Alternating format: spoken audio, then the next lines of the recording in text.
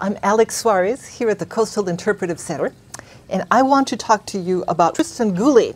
He has a series of books, including The Lost Art of Reading Nature Signs, and the one I want to talk to you about specifically, which is called How to Read Water. And I love these books because it changes the way that I can relate to things. I feel like Sherlock Holmes going out into the world and understanding all these signs reading all these signs that allow me to know what happened just from a puddle of water or just from looking at waves. One of the things that this book does is that it helps us see water in different ways and answers questions that I didn't even know I had. For example, what keeps water together? Uh, as you can see in this waterfall, they don't just float off into little droplets. How can we get those lovely droplets after it rains?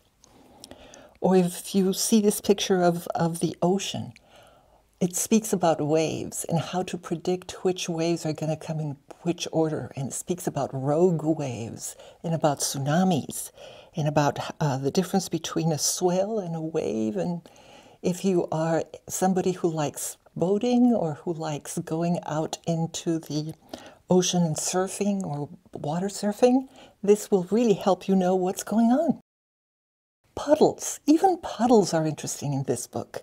It helps you know how to find your way back to town if you get lost in, in, in on the road. It helps you know uh, how to know what is underneath the puddle. It, it, it just makes you look at the world in a different way. You will never see water the same way. The beach has all these little holes, and with this book, you'll understand what those holes are about and let you know when, when it's high tide or low tide or who made those holes. Lets you understand storms and be able to predict them and when good weather is coming after a storm.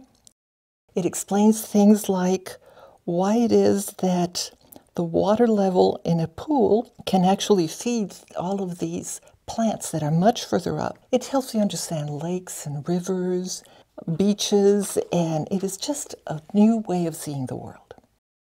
Okay, so here's to good reading and keep hydrated.